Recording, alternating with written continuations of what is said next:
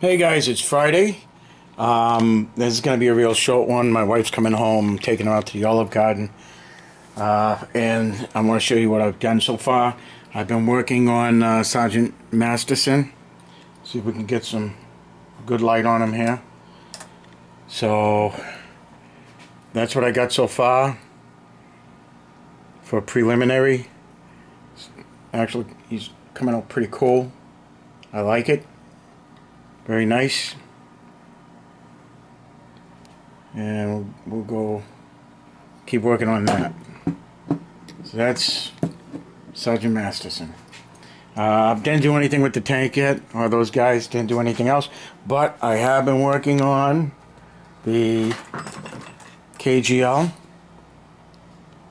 Trying to get them, I got the green down, I got all the blue down.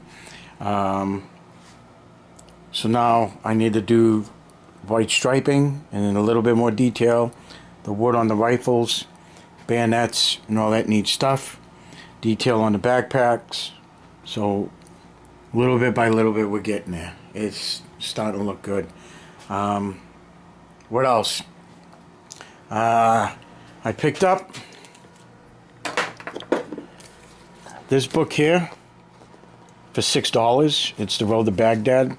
It's a. Um, it was originally twenty four, and it was on sale. So I picked this up, and um, it's a wargaming book, Mod Never, for six dollars. Uh, I couldn't. I couldn't leave it there. I had to take it.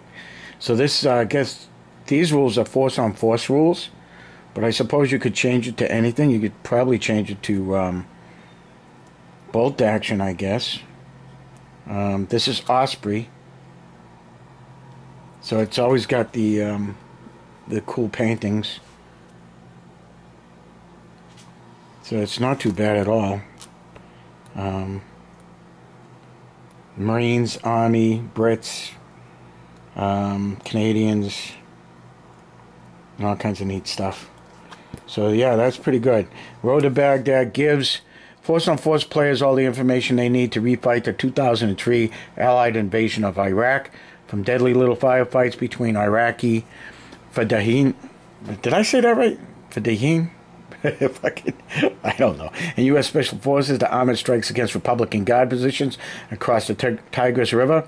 Road to Baghdad offers a wealth of varied scenarios and missions ob- objectives that will challenge the technical abilities of new and experienced war gamers alike. With a wealth of new information to expand force on force, Fahadin. There you go. Okay. Including detailed historical background and orders of battle for U.S., British, and Iraqi forces during the invasion. Road to Baghdad allows players to really get to grips with the experience of war in the opening stages of Operation Iraqi Freedom. Very cool.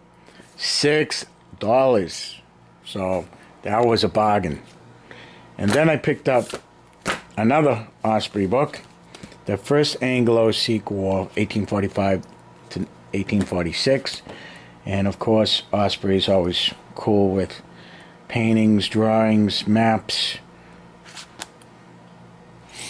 Oh, I love the smell of fresh ink. Okay, that was a little weird. but uh, this this is a cool book too. Not bad. Not bad at all. Look at that. That's that's cool. Cool.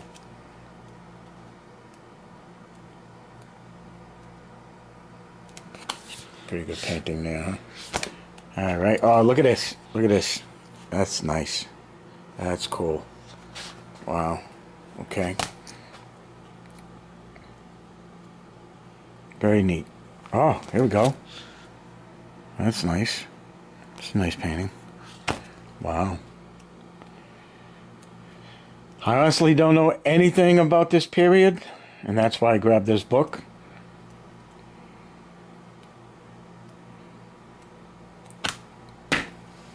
First Anglo-Sikh War was a result of escalating tensions between the Sikh Empire and the British East India Company in the Punjab region of India in the mid 19th century. Political machinations were at the heart of the conflict, with Sikh rulers fearing the growing power of their own army, while several prominent Sikh generals actually actively collaborated with the East India Company.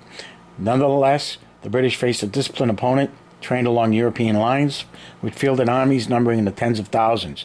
This gloriously illustrated study tells the story of one of the major colonial conflicts of the 19th century, as the East India Company attempted to wrest control of the Punjab region from the Sikh Empire, uh, riven by infighting and explores a number of closely contested and costly battles, including Makdai, Firoz Shah, Aliwal, and Sobran.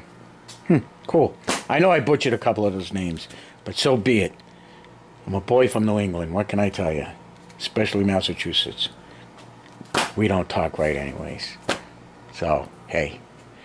All right, guys. So, KGL's not looking too bad. We're getting there. I'm actually getting motivated. And just seeing it starting to come to fruition is motivating the shit out of me. So that's cool. All right. Oh, and let me show you what I picked up. I picked up all these Washington Army boxes and some Brits World War II infantry. They still had three boxes, but I got all of these, the old Airfix boxes that I got for uh, five dollars each. So that was pretty neat. So now I look at them all.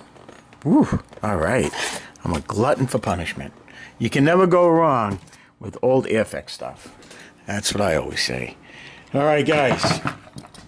Um, that's it. Um, sorry I didn't do the comic books yet. I know I have to do them. It's quite a lot that I have to uh, get ready. But uh, I like this thing. This thing's coming out pretty cool. We'll see. Still got a lot more work to do, but it's coming out.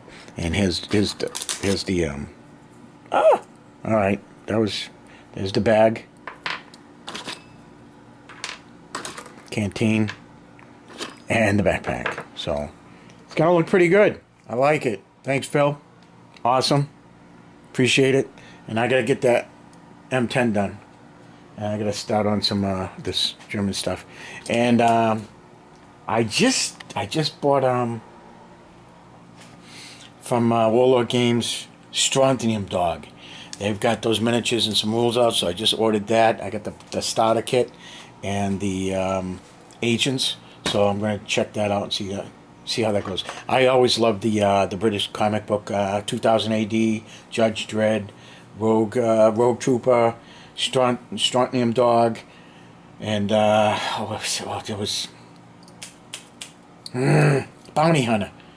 Not Strontium, Dog is a bounty. I, I, I forget the guy's name. I'll figure it out probably when I end this. Uh, it's not Sable. It's something. I, I forget what it is, but uh, it is what it is. But I love the. I, I love those comic books. I used to get them all the time. Uh, Judge Anderson, Judge Dredd, 2000 AD. So that was pretty cool. All right, guys. That's very quick and uh, be good to each other. Happy war gaming, and hopefully I can get my act together for the comic books, and we'll see. Because I picked up some really cool DC war books as well as some new stuff. But uh, we'll see. Hang loose. Take care. Be good to each other. Ciao.